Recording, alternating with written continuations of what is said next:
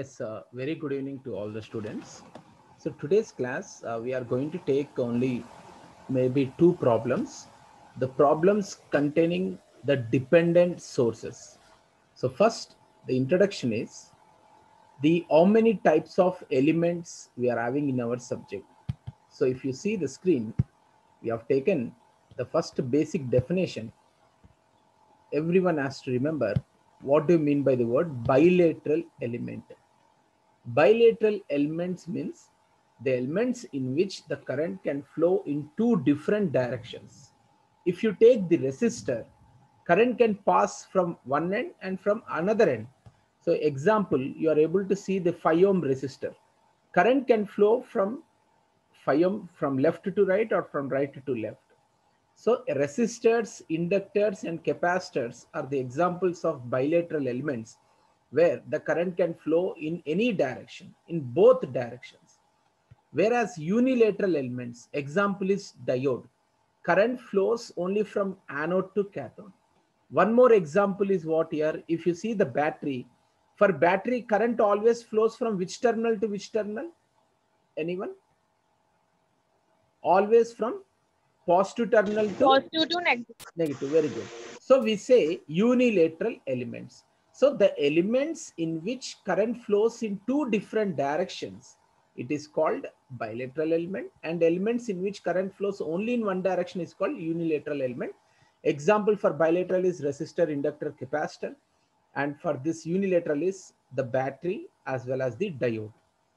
Now, we say the battery is called the source current source, voltage source.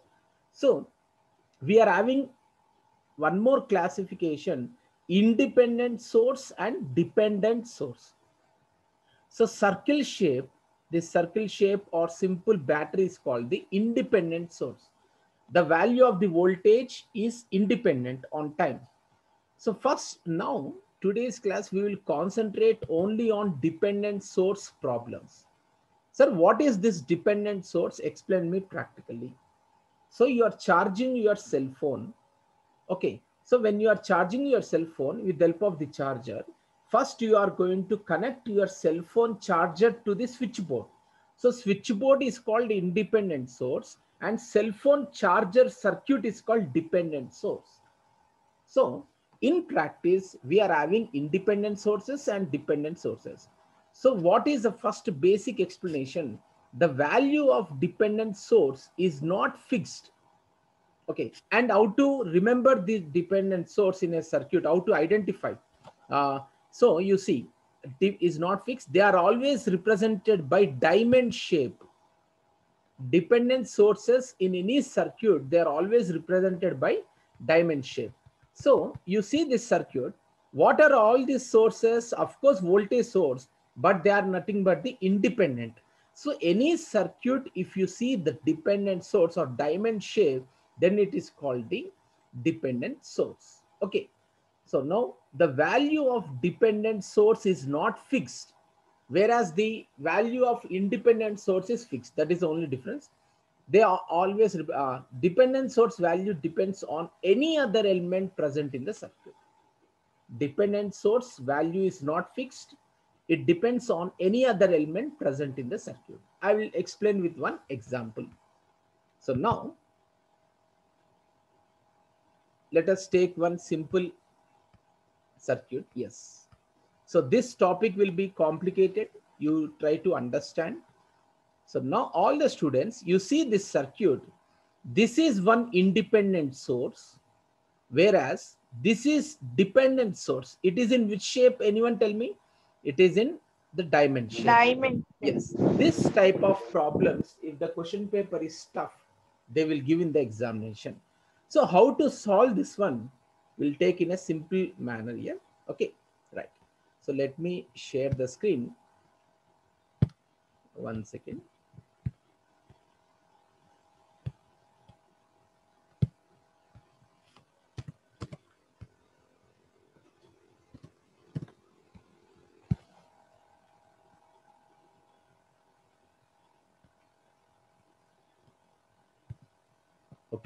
So before we start solving this complicated circuit, see mid one examination, definitely dependent source problem you will get in the examination. Remember. So now you see all of you. First one basic I'm explaining. This is the resistor. As I mentioned, first unit is all about resistors only. Okay. So if the current is flowing in this direction, then this terminal, this end is called voltage rise, RISC, and this is called voltage fall. This is not called as positive terminal and negative terminal.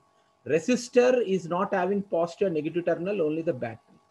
So we say that generally, so if at all here anybody is mentioning 2V, let us say 2 volts, the answer is 2 volts. Okay. Let us say the current is flowing in this direction. The current is flowing in the opposite direction. Now, what is the value we take here? It is plus 2V or minus 2V? Minus 2V. Understood? If the current is entering the uh, this particular first end, we call this one, then it is asked as 2V only. But if the current is entering in the opposite direction, we take this one as the minus 2V. I will explain practically this one. Now, let us speak regarding the dependent source. So what is the dependent source? Show me practically means cell phone charger circuit is called the dependent source. When it is connected to the switchboard, the switchboard is called the independent source. So dependent source, if you see, it is also dependent voltage source, plus minus is there. This is also dependent battery. But sometimes in the question, they'll give you like this, phi, Vx or Ix. So now this is voltage and this is also voltage source. The name is voltage dependent voltage source. Remember the name. This voltage source is depending on which value Vx. Therefore, voltage dependent voltage source. And in the problems, if you see, dependent source value is not fixed. That value, it is uh, depending on any other element present in the circuit. Now you see, I am drawing the circuit. The circuit contains two resistors, 2 and next 3. Now here I am writing Vx. Vx is completely different from the battery which is given. Now you tell me this Vx that is dependent source. Dependent source, what is the value? It is only 5? No. Dependent source values are not fixed. They depend on any other element present in the circuit. Dependent source value is how much given in the problem? Anyone tell me? 5EX, right? Now you tell me 5EX value where it is depending. It is depending on 2 ohms or 3 ohms. Where that value is given? See the screen and tell me. You're able to view the screen, right? Everyone.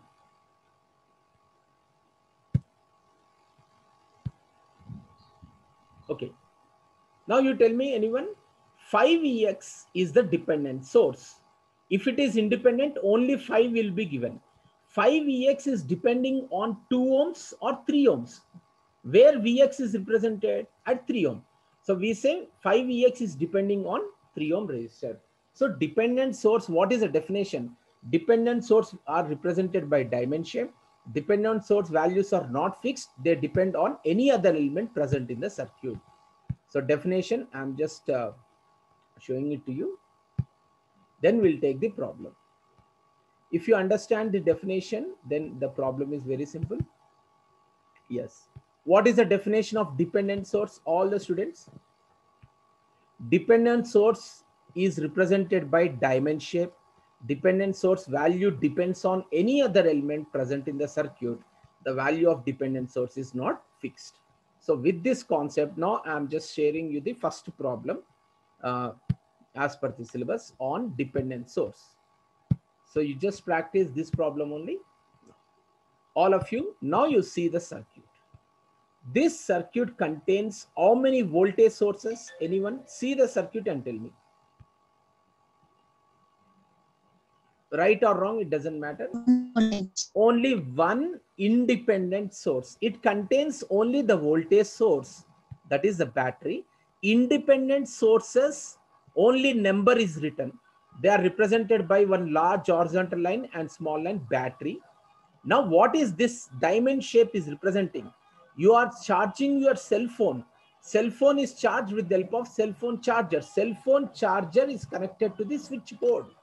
That is a circuit. Okay. So now this problem you observe carefully here. So dependent source values are not fixed. What is the value of dependent source? Any student tell me what it is written? 2 into Vx. Dependent source value where it is given in the circuit at which resistor 10 ohms. Yes or no? Vx is given here. Once again, I'm mentioning these are very complicated problems. If you understand the logic, then it is simple. So now what is my aim? Calculate the current flowing through the circuit. Okay. So now you forget about this minus and plus.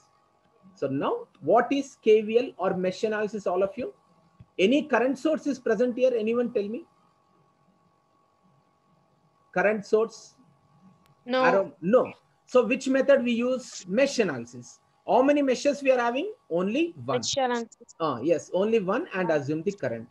Now, what is the mesh analysis technique? Write all the batteries or voltage sources to the left-hand side of the equation, whether they are dependent or independent. Left side.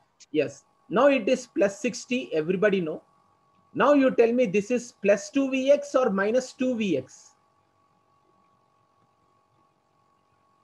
Plus 2Vx or minus 2Vx? So I'll share uh, the screen and I'll tell you. Minus 2vx. minus 2vx very good. Correct. See this is the dependent source on digital whiteboard i'm drawing now. Mesh analysis everyone has to remember every day that material you have to practice. This is positive terminal and this is negative terminal. So how to decide this is plus 2vx or minus 2vx vx is given in the problem this is the dependent source so our mesh analysis current is flowing in this direction. This is the arrow mark, but this is the positive terminal. Current from this battery will come in which direction? Clockwise or anti-clockwise? Anti-clockwise. So both the currents are in which direction? Opposite direction. Therefore, we confirm this is the Opposite direction. very good. A minus 2vx. Minus 2 Minus 2vx. so here 60 minus 2 Vx. Dependent source, they will never give 2 volts. They will give 2 Vx or any value. So 60 minus 2 Vx equal to right hand side. What are how many resistors we are having? 30 and 10. For resistor minus plus, we'll see later on. So Two I yes, I into 30 plus 10. This is the equation. If you are perfect in this equation, then that is okay. So once again, I'm repeating as it is a tough problem. So we say this is the dependent source, whether it is dependent or independent, write the voltage sources to the left hand side. 60 minus 2 Vx equal to I into R1 plus R2 30 plus 40. Now our this is equation 1. Our aim is to bring the value of Vx. All of you tell me Vx where it is written. Vx is shown at 10 ohm resistor. Anyone tell me the formula of this uh, uh, voltage, voltage formula? So once again, I'm, voltage formula is V is equal to I into R. So what is the circuit? You see the circuit. Here we are having 10 ohms. Okay. And here we are having Vx. Listen carefully this one. This is the direction of the our mesh current or loop current. If the mesh current is flowing in this direction, then this will be the voltage rise and this will be the voltage fall. So anyone tell me what is the formula for Vx? Vx is equal to, uh, which current is flowing? Current is I. What is the formula for voltage? I into R. Vx is equal to I into 10. Is it okay all of you? Vx is equal to how much? Vx is equal to I into 10. Okay. But now in the question, they have given one indication. What they have given minus and plus they have given. Listen carefully here. So now you tell me our mesh current is flowing in this direction. According to the direction of mesh current, this is plus and this is minus. But in the question wantedly to confuse you people, they have given minus and plus. Now anyone tell me what is Vx? It is Vx is equal to I into 10 or minus I into 10. Vx is equal to, we will get minus I into 10 because the current is flowing in opposite direction. So here we say Now I'm sharing this particular document once again. So I hope now you tell me all of you, see this particular uh, condition, uh, current mesh current is flowing in this direction, but here minus and plus is given. So what is the value of Vx? Vx is equal to minus I into 10. You just substitute here Vx minus 10i, then you will get the current. The problem is solved. Okay, anyone, any doubt in this one? This is a uh, mid, mid one examination. Definitely will get this type of problem only. Any question, anyone? Go ahead. Right. So now I'm just moving to the next problem on dependent source. If it is done, let us take. So now all of you observe carefully. Clarity might be less, but still just check this one. Circuit is visible now. How many meshes are there? So first for this given circuit, all students, please uh, tell me any current source is present or not for the given circuit. If current source No is not, current source. no current source, right? If current source is there, we are supposed to go for nodal analysis. Here, no current source. Nodal analysis. Yes, if current source is present, we will go for nodal analysis. But here, no current source. This is the battery only. Plus minus is there. Diamond shape and plus minus. This is the battery. This battery is depending on the variable Ix. Okay. Okay. So this year we are having all batteries only. Mesh 1 and mesh 2. We can go with the mesh analysis. As I mentioned, BW subject first step is to perfect with mesh and nodal then you will clear the exam. If you are not perfect, you cannot clear the exam. Okay. So now, now all of you, Ix in the problem, in the question itself, Ix is given in mesh 1 or mesh 2. Where Ix is flowing? Anyone tell me? See the circuit and tell me. Ix arrow mark is given in mesh 1 or mesh 2. Both the No, see the circuit. Where IX, see 8 IX here they are mentioned. That hmm. means only here we'll see the 8 only. But where IX is IX, I2. Uh, very good. IX is flowing only in mesh 2. Here they have given indication that is IX is equal to I2. Now you tell me IX is equal to minus I2 or IX is equal to I2. You see the arrow marks, both the currents arrow marks, both are in same direction or opposite direction? Both the currents direction. same direction. Therefore, Ix is equal to I2. So if Ix, yes, if Ix is Ix is given like this, then Ix is equal to I1 minus I2 if it is given there.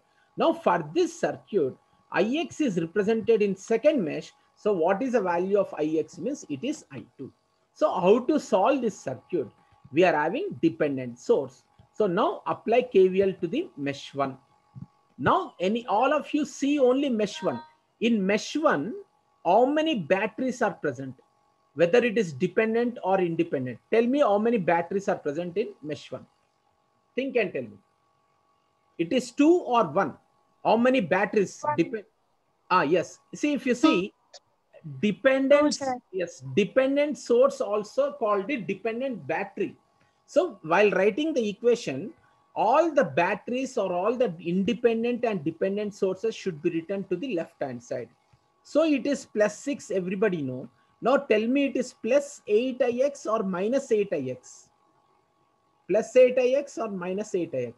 You see, this is the positive terminal. Current comes from this end and Minus my very good. Mesh Yeah, current is flowing in this manner. So it is 100% minus 8ix. That's why I'm recommending. I've released the first video uh, how to solve any circuit. That video and second video KVL uh, explanation. If you go through that video, that is enough. You'll become perfect. So it is 100% 8 minus 8ix. Here we have written applying KVL. So this theory, first two unit is entirely problematic.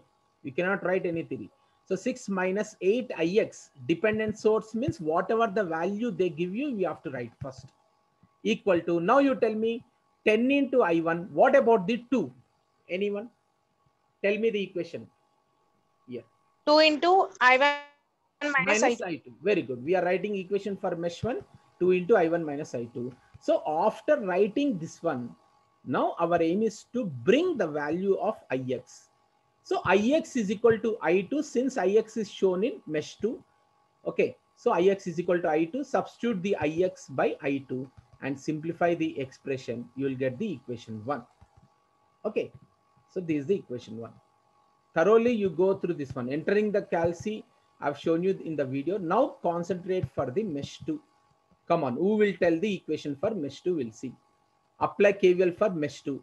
Mesh 2, you tell me equations.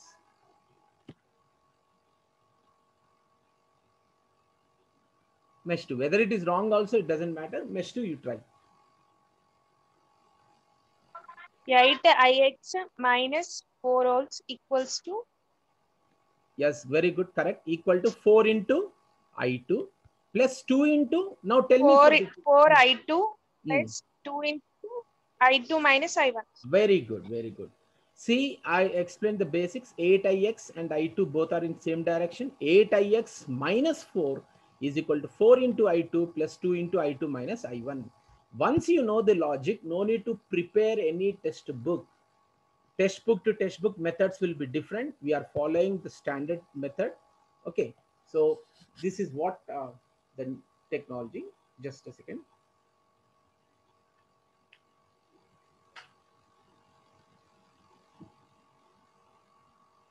Right.